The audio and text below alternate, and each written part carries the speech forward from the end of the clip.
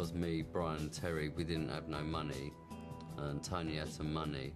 So I think Tony's put up majority of the money up, up front, but then when we sell all the tickets and that, with all the money we get back, that basically goes back to Tony.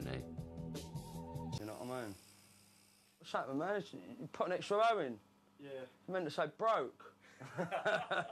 These gigs come in handy because it's all nice coming up for Christmas and that, you know. I owe out about 30 grand. so I'm going to be broke for a little while.